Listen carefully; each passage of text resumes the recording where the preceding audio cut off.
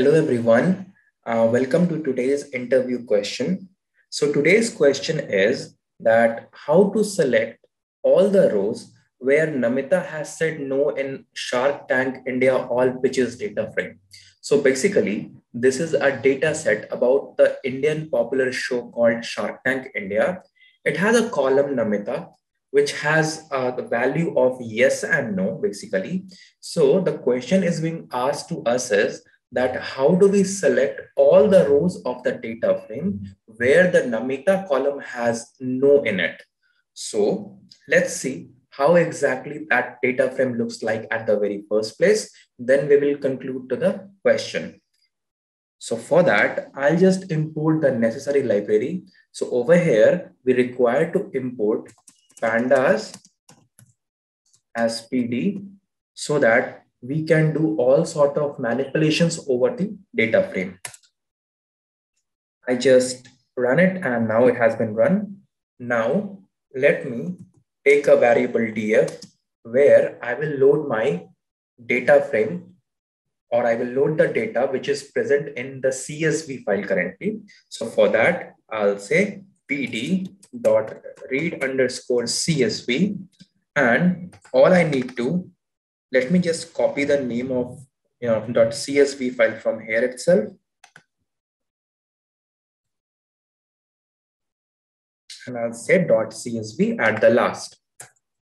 When I run it, I see that the, the execution has been done. And now let me just do df and shifter enter. When I did, I see that the entire data frame has got loaded into the memory in a variable called df. And I could see that there is a column and its name is Namita. So this Namita has the value n, which basically stands for no.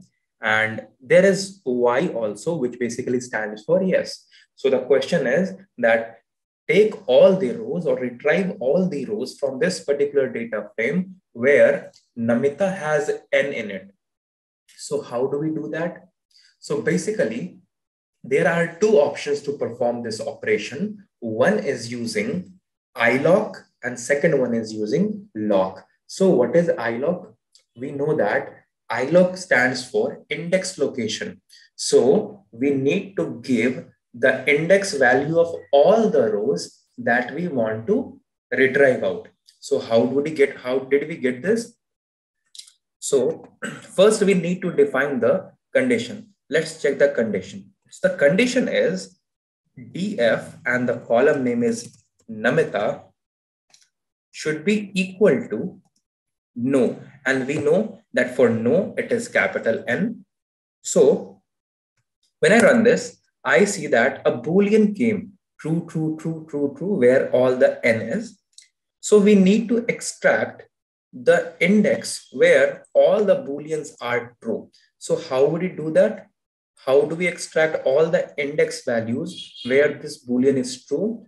For that, I need to import one more library. It's called NumPy. I'll say import numpy as np. Now my numpy has been imported. It has a functionality, it's called as dot where. When I see, when I say np dot where, and I put the condition inside of it, which you know, which which is a, nothing but a boolean condition, it will give me all the index position of rows where this condition is met or where this condition is satisfied.